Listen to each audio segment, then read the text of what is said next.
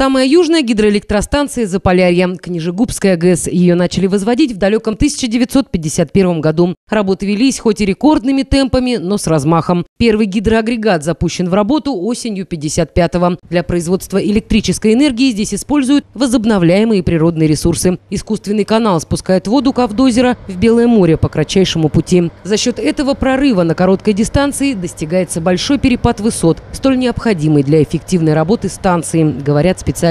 Мощность ГЭС-11 более 150 мегаватт. Вся задача всех энергетиков – это бесперебойное электроснабжение городов и сел, наш девиз.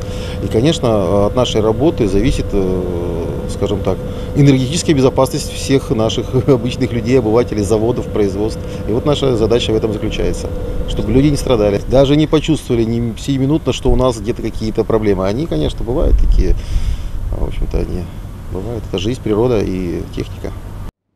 Для жителей Зеленоборского Книжгубская ГЭС считается градообразующим предприятием. По сути, поселок возник вокруг станции. Она дает электроэнергию населенному пункту, предоставляет рабочие места. Сегодня на Книжегубской ГЭС трудится чуть больше 30 человек, и все как один надежные и преданные своему делу. Для меня всегда вот, вот, наша гидроэлектростанция Книжегубская была каким-то таким миром, недоступным, как бы, да. Я всегда смотрел из-за, из забора на нее, на людей, которые здесь работают.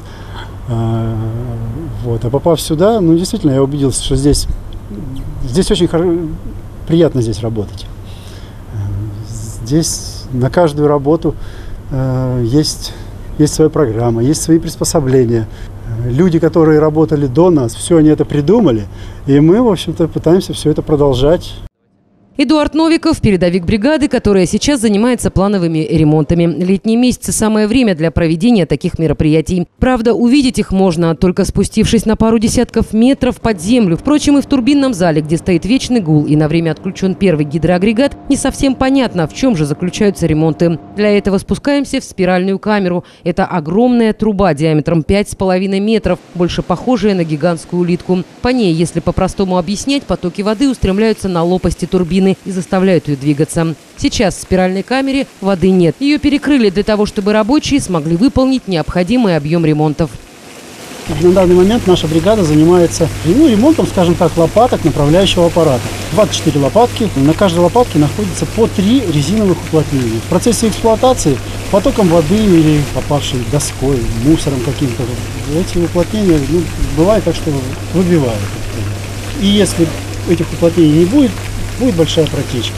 Будет большая протечка, будет сложность с остановкой машины и так далее. Уникальное оборудование внутренности Книжегубской ГЭС проверено временем. Работает надежно и безотказно, вот уже 60 лет. Но и ему требуется постоянный уход, а потому плановые ремонты, осмотр всего хозяйства – обязательные процедуры. Следующий на очереди – второй гидроагрегат. Его остановят, как только в работу запустят первый. Потом энергетики займутся третьей и четвертой турбиной. Параллельно решаются задачи по оптимизации труда. В планах автоматизировать процесс, организовать частичное управление станцией с Нива ГЭС-3.